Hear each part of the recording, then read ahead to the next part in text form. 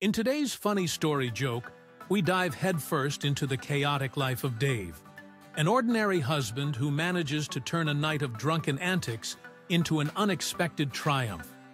Ever had one of those mornings where you wake up with a hilariously hangover so massive, you're convinced your entire life has turned upside down? Dave certainly has.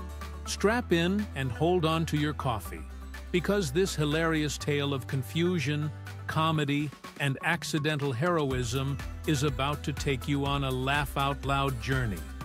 Meet Dave, an average guy with an above-average appetite for beers on Friday nights. Last night was no exception. He and his buddies hit every pub in town, starting with the Tipsy Turtle and ending at the Drunken Dragon, a bar so sketchy even the roaches carry pepper spray. They laughed, told tall tales, and attempted to sing karaoke, much to the horror of everyone within earshot. Dave, naturally, was the life of the party, convincing everyone that ordering another round was always a good idea. Fast forward to the next morning. Dave wakes up feeling like he's been run over by a stampede of wild elephants. He attempts to open his eyes, but they feel glued shut.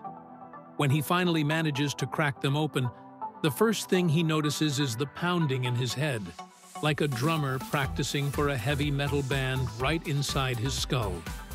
Every beat of his heart sends shockwaves through his brain, and he wonders if he somehow managed to swallow a jackhammer last night.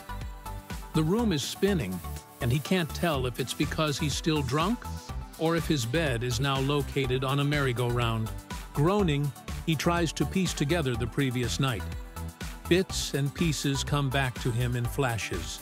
Dancing on the bar, attempting to ride a mechanical bull, and challenging a stranger to an arm wrestling match, which he lost spectacularly.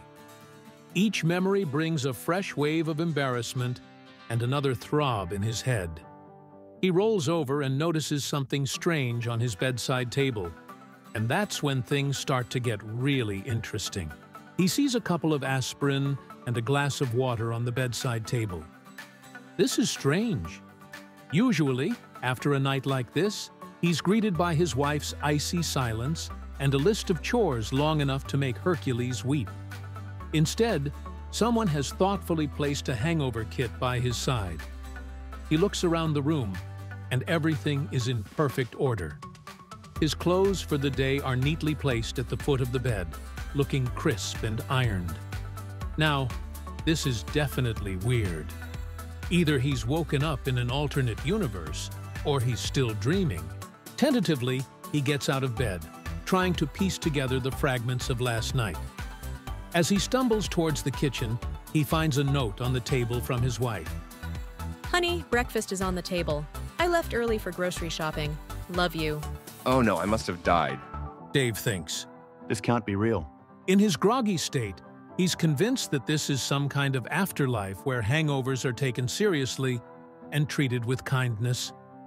He shuffles into the kitchen, and sure enough, there's a hot breakfast and a newspaper waiting for him. He pinches himself.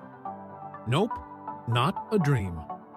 But something is very, very wrong. His previous world did not treat men like this after a heavy night out with the boys. His son, Timmy, is already up, munching on his cereal. Dave decides to probe for information. Hey, buddy, what happened last night? He asks, trying to sound casual. You came home around 3 a.m. drunk as a skunk.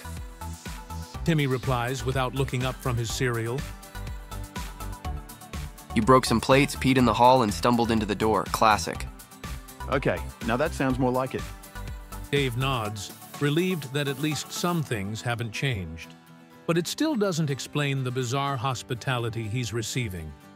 He decides to dig deeper so why is everything in order? I was expecting a big fight with your mom. Dave says, bracing himself for the explanation. But this funny story joke ain't over just yet. Timmy finally looks up, a mischievous grin spreading across his face. Oh, that part was hilarious.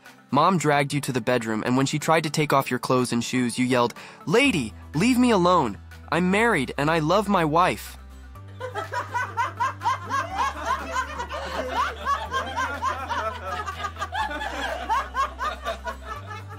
If you liked our joke, then please watch our next joke by clicking here.